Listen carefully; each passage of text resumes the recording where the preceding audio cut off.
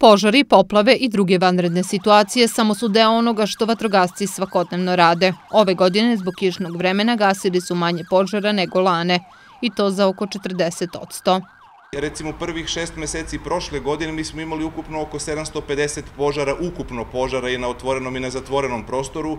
Od toga je oko 530 požara bilo na otvorenom prostoru. Dok ove godine imamo znatno smanjenje za nekih 40%, otprilike 450 požara je do sada ukupno bilo u prvom polugodištu ove godine, a od toga oko 280 požara na otvorenom prostoru. Kažem, svemu tome ide u prilog i ovo vreme koje je ovako promenljivo, kišovito i vlažno, ako tako mogu da kažem. Najčešći uzrok požara je ljudski faktor.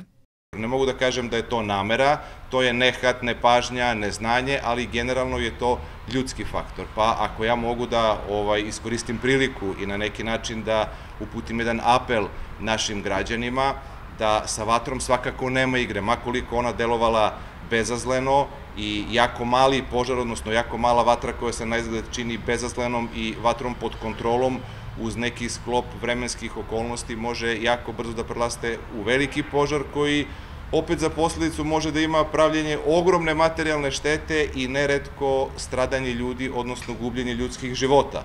Naša praksa pokazuje da mi svake godine u ovom periodu, odnosno periodu požara na otvorenom prostoru, imamo i stradale naše sugrađane, koji počnu da gase taj požar, koji ga verovatno i upale i onda počnu da gase, obično su to stari ljudi, koji budu okruženi dimom i jednostavno zbog svojih godina i zbog svog zdravstvenog stanja se tu uguše.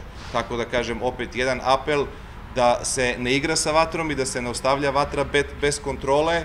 Prema podacima Ministarstva unutrašnjih poslova, prošle godine vatrogasci spasioci intervenisali su na gašenju 31.334 požara u Srbiji, od čega su polovina bili požari na otvorenom u kojima je poginulo šest i povređeno 25 osoba.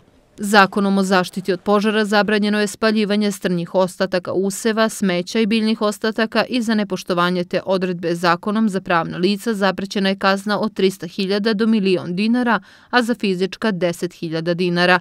Zakonom je zabranjeno i loženje vatre u šumama ili na udaljenosti manjoj od 200 metara od šuma.